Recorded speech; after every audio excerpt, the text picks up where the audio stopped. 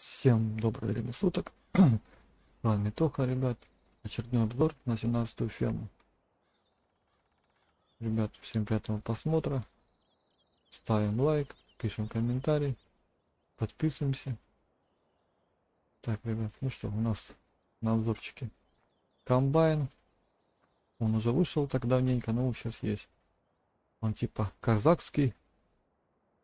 Есть сил, типа комбайн такой наподобие Полесья, только не казахская, наверное. Ребят, казахская или казахстанская.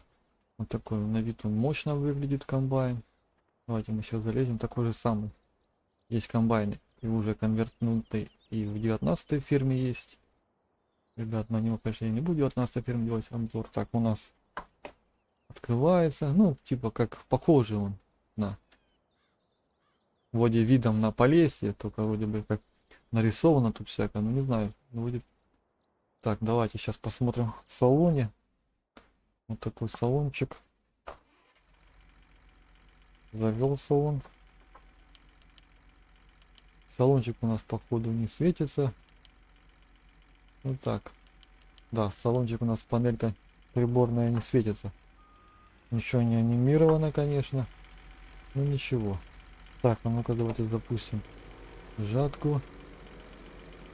Вроде анимация какая-то есть там. Да, есть анимация ремней, все этого уже, это уже радует. Это у нас есть. Так.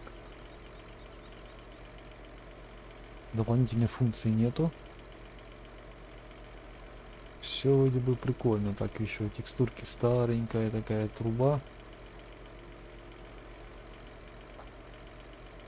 Ну, вот такой комбайн, ребят.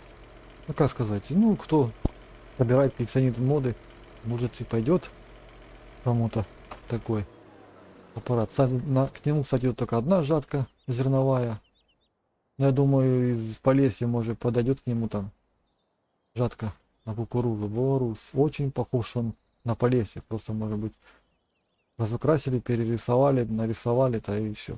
Как я так думаю. А там, ребят, смотрите, пишите свою мнение в описании. Такой комбайн. Почему я сделал, сделал мне обзор? Ну, как сказать, появилась техника, я ее, свое мнение рассказываю, что как люди старались, люди делали. Ну, просто у человека есть свое мнение. Такое у нас. Теперь смотрим его характеристики. Он находится в уборочной машине. Вот он.